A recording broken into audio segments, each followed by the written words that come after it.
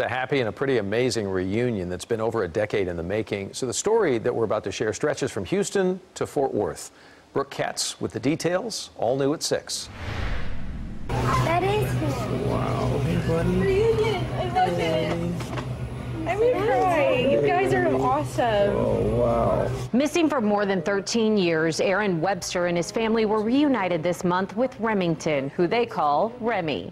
And shortly after, we talked on the phone and realized it was Remy, and it all kind of, you know, started going from there. The little guy was picked up by Fort Worth Animal Control, who called in the organization Saving Hope. A microchip linked Remy to the Websters in Houston. First of all, he just said, "How's his health?" He said, "Does is he is he okay?" Um, and he didn't look good. He was in bad condition, but his health was fine. The five pound Yorkshire Terrier mix had a wound on his face, hair loss, and no teeth. But it didn't matter to the Websters or Mackenzie, who helped bring a family back together with their pet. Incredible.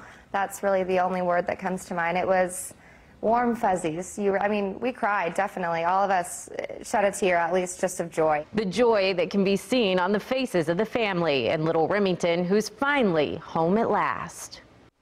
So everyone can really only speculate what happened to Remy over that decade. No one really knows how he made it from Houston here to Fort Worth. But this reunion would not have happened if this little guy wasn't microchipped. So it's a good lesson for all of us how important it is to microchip your pet.